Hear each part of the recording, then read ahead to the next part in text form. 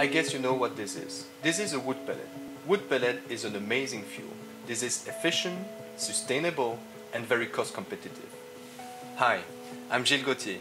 I'm the pellet expert of the European Biomass Association. I'm here to give you more information about the content of the pellet chapter of the 2015 statistical report.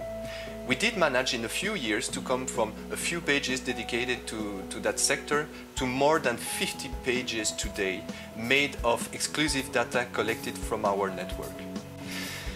This report contains a lot of detailed information.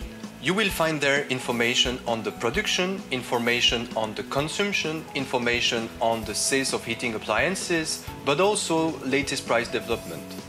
I will give you a few examples.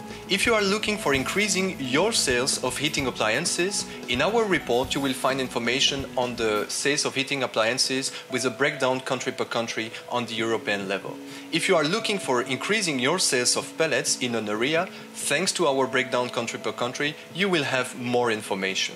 You're looking for the latest development on price, we have information on the industrial price, but also on the domestic market price. If you want to have a better feeling about what this report contains, I suggest you to click here and to download the 2015 key findings.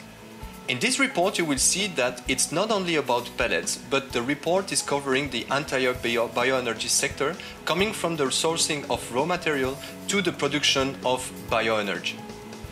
If you want to get access to all the statistics that we've got collected so far, I would suggest you to order the 2015 AEBIOM statistical report. I thank you for your attention and I hope you will enjoy reading our report.